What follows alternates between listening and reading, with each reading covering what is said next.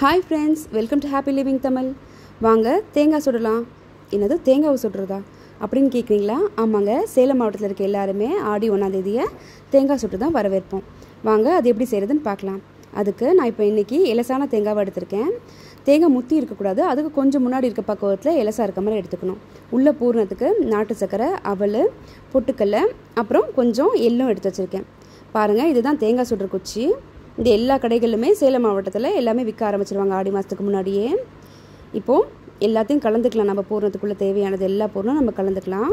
இப்போ தேங்காய் நல்லா சுத்தமாக க்ளீன் பண்ணிவிட்டு பாருங்கள் அந்த மூணு கண்ணில் ஒரு இது மட்டும் ஓப்பன் பண்ணி அதுக்குள்ளே இருக்க தண்ணியெல்லாம் நம்ம எடுத்துடலாம். அந்த தண்ணி எடுத்து வச்சுக்கோங்க. அது கீழே கொட்ட வேண்டாம்.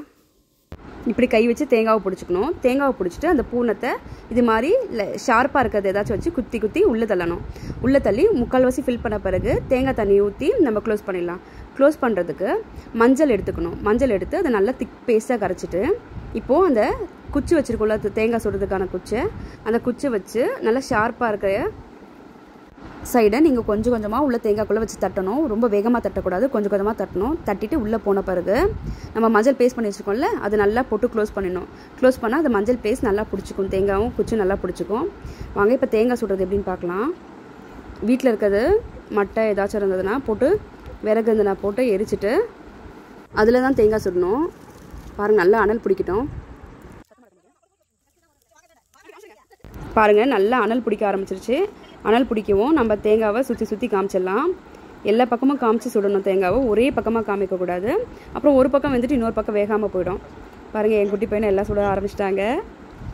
இப்போது இந்த அனல்லையே தேங்காய் தண்ணி கூடவே அந்த அவல் பொட்டுக்கல்ல எல்லாமே வெந்து சூப்பராக வந்துடும் அந்த தேங்காய் தண்ணியில் வேகிறதுனால அந்த டேஸ்ட்டு சூப்பராக இருக்கும்.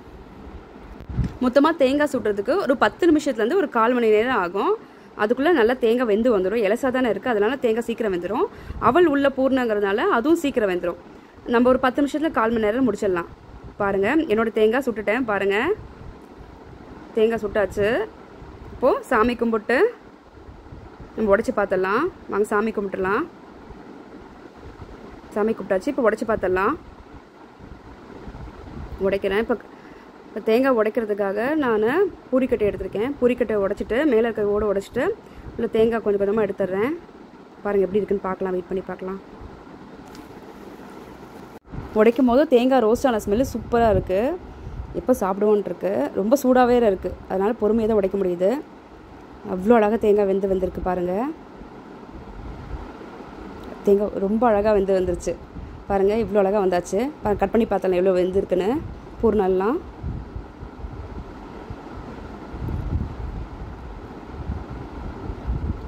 சூப்பராக வெந்து வந்திருக்கு பாருங்கள் நம்ம உள்ளே வச்சது எல்லாமே அழகாக வெந்து வந்திருக்கு. கரெக்டான பக்குவத்தில் இருக்குது